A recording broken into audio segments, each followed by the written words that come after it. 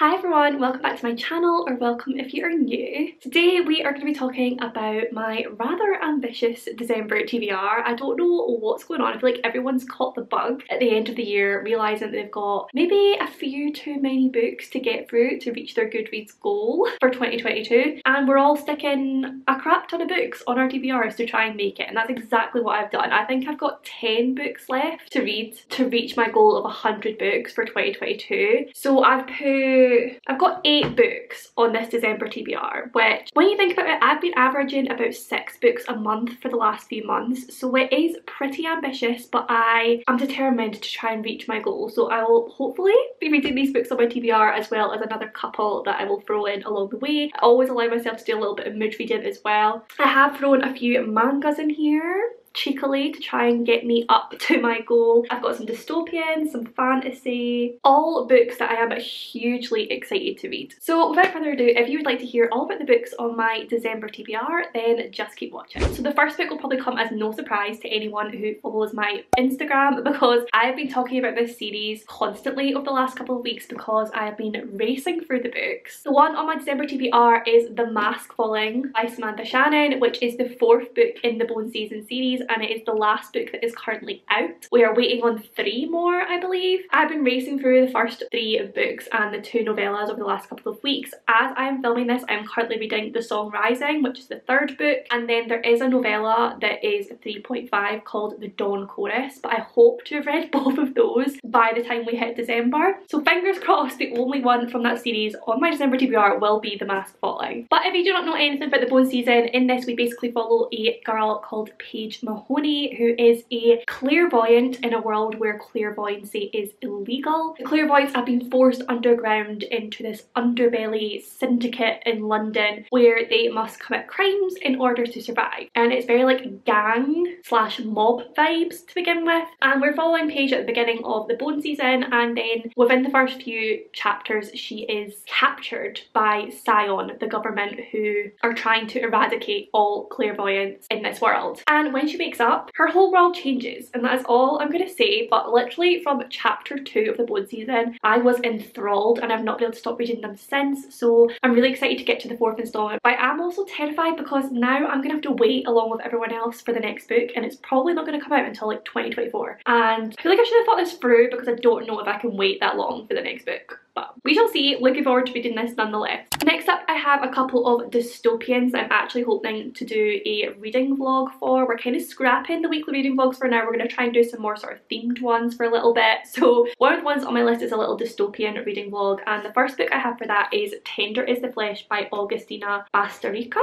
I have heard so many good things about this book. I know it is incredibly dark, incredibly difficult to read but it sounds like such an interesting one as well. I have been all about the dystopian vibes recently so this is definitely going to fit into my current mood. So in this one we are basically in a world where humans are slaughtered for meat and obviously eaten as if that's completely normal and I think in this one we are following Marcos who is like one of the people slaughtering these humans and he then finds a specimen of the finest quality and leaves her tied up in an outhouse, a problem to be disposed of later. She haunts him, her trembling body and watchful gaze seem to understand, and soon he becomes tortured by what has been lost and what might still be saved. This sounds so twisted but so interesting. I'm assuming it's going to be like a world where they think these humans that they are slaughtering are like lesser or not as intelligent and that's how everyone understands it and then this one makes him think otherwise. I don't know but yeah it sounds really compelling, really dark. You know I like my dark twisted reads so fingers fingers crossed I'm going to enjoy this one. The other dystopian I want to read for that vlog is The School for Good Mothers by Jessamine Chan. I haven't really heard anyone talk about this one other than Christy and as soon as she mentioned it I literally ran to Amazon to order it because it sounds so interesting. In this one we are following a world where if society deems a mother unfit or to be not a good mother they will take their child off them and then they are sent to a school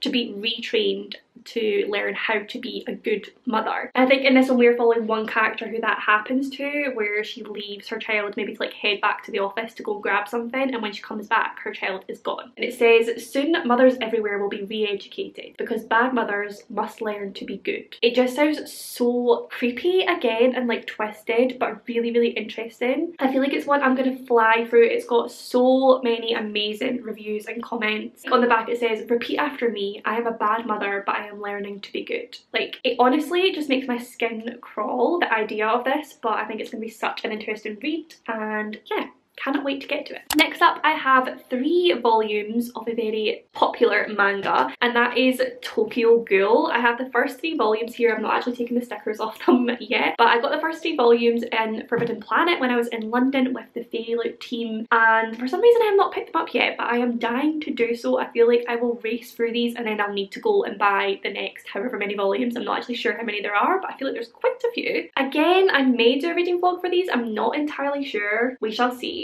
So in this one, I believe we are following a world in Tokyo where there are ghouls who seem the same, seem normal, seem just like any other human, except the fact that they crave human flesh. And then I think in the first one, we follow Ken Kaneki, who is turned into the first half human, half ghoul hybrid. And he must survive ghoul turf wars, learn more about ghoul society, and master his new powers. I have said recently that I'm really looking to get into manga, like really expand my collection and Tokyo Ghoul is one that people just recommend left, right and centre so I'm really hoping to love these and also nice and quick will help me get through that Goodreads goal. The next book I have is one that I honestly didn't think when it first came out I would ever read but since I've come back into my fantasy era this is now one that is a huge priority like right at the top of my TBR because I've heard such amazing things about it and that is The Atlas 6 by Olivia Blake. Like I said now that I am loving fantasy again I just feel like this is going to be one that I absolutely adore I've heard so many people give it five stars, so many people say it's their favourite book of all time. And I also need to read the first one before I can read the second one because the second one is now out. So in this one we follow six magicians who are invited by Atlas Blakely to apply for the Alexandrian Society. And I think in order to get into this they have to like complete different trials and things and we follow these six different magicians all who have different powers but these six magicians are competing for five places. They must study and innovate within esoteric subject areas and if they can prove themselves over the course of a year they'll survive, most of them. I've heard this one is just absolutely beautifully written, it's very fast paced, it's very high stakes, I feel like it's going to be one that I am just like turning page after page, cannot put down and I'm really interested to find out about this world, these different types of magic and this Alexander Alexandrian society. I love anything with like a creepy, dark society and what that can usually bring. So yeah, looking forward to learning about all the different characters in this and this world and I'm really hoping to love it just as much as everyone else seems to. And finally, the last book on my December TBR is A Dowry of Blood by S.T. Gibson. I know what you're thinking, this probably should have been read in October or at the very latest November. But alas, that did not happen. So we're going to read it in December. We are. This one is a retelling, a reimagining of Dracula in which we follow one of his wives, Constanta, who realises that her lover, her husband Dracula, is capable of some very dark and horrible things. And finding comfort in the arms of her rival consorts, she begins to unravel their husband's dark secrets. With the lives of everyone she loves on the line, Constanta will have to choose between her own freedom and her love for her husband, but bonds forged by blood can only be broken by death. It's a sensational novel and a darkly seductive tale of Dracula's first bride. Like, darkly seductive, that just draws me right in. Again, I've heard amazing things about the writing of this one. I feel like it's gonna be one that just sucks me into this world. I love anything gothic, anything to do with vampires, and this one just sounds like such a sexy gothic tale. So